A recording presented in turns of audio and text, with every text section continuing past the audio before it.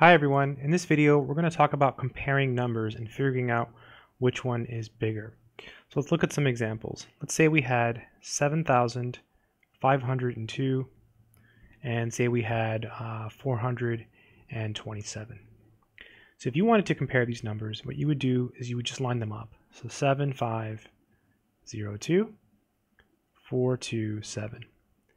And you could easily say that the number up top is bigger because it has more digits, right? It has more digits than this one. So this number up top is going to be bigger. So the way you write that in mathematics is you write down the 7502 and you want to say it's greater than 427.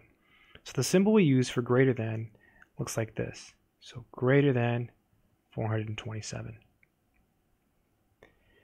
You can also write this backwards. You can write this as 427 and then reverse the symbol. This symbol is called less than. And so 427 is less than 7,502. So again, this symbol here, this is called greater than, greater than, and this symbol here is called less than. Sometimes people like to think of alligators. If you think of this as an alligator's mouth, um, it eats the bigger number, you see. It's got teeth, and it, it, it, eats the bigger number. Whatever works. Um, I usually do it this way. Um, I don't think about alligators. Let's do uh, another example of comparing numbers. Say we have numbers and they have the same number of digits. Say we have 4, 7, 2, 1, 4, 9, 2, 1. In this case, we can compare these two numbers. And notice the ones are the same, so you just check each number. The twos are the same, so far so good. Oh, but look, this one, the hundreds place is bigger, right? The 9, sorry, yeah, in the hundreds place uh, is bigger than the 7 here. So this is much bigger than this one because it has a bigger number in the hundreds place. And the 4s match. So this is going to be a bigger number.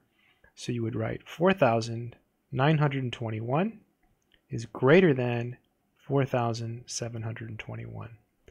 Or you could say the top number is smaller, so you would write 4,721 is less than 4,921. Let's do another example of comparing numbers. Let's do one that might not be so obvious. For example, 7432 and 7612. So if you kind of follow the strategy we did uh, in this example up here, you compare the twos, you might say, oh wait, look, here in the tens place, the three is bigger than the one. But you have to keep comparing, okay? You have to compare all of them. So notice the sevens are the same, but look, here again, the bottom number dominates, right? It's got a bigger hundreds place. So this number on the bottom, because the hundreds place is bigger, is going to be bigger than this number. So 7612 is greater than 7432. 7432.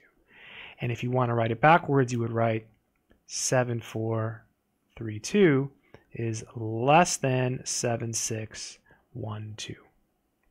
Let's do another one. I'll do it over here in a different color.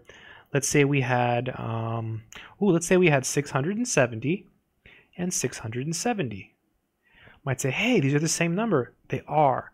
So whenever they're the same number, what you do is you put this symbol between them.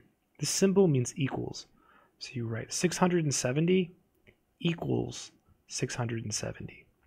That's what this symbol means. The symbol means equals. Equals.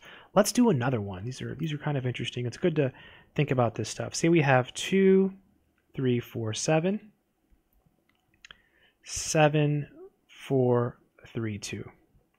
So if you compare side by side, let's see, the, the ones place is bigger, the tens place is bigger, the hundreds place is smaller, uh-oh, but then look, the thousands place, that one dominates everything because that's the biggest place, and it's bigger than the biggest place here, so therefore the number on the bottom is bigger. So 7432 is bigger than 2347, or greater than is the correct word to say. And you can write it backwards. The number on the top is smaller. So you would say 2347 is less than 7432. So quick recap. This symbol here means less than. This symbol here means greater than. This symbol here means equal to. I hope this video has been helpful.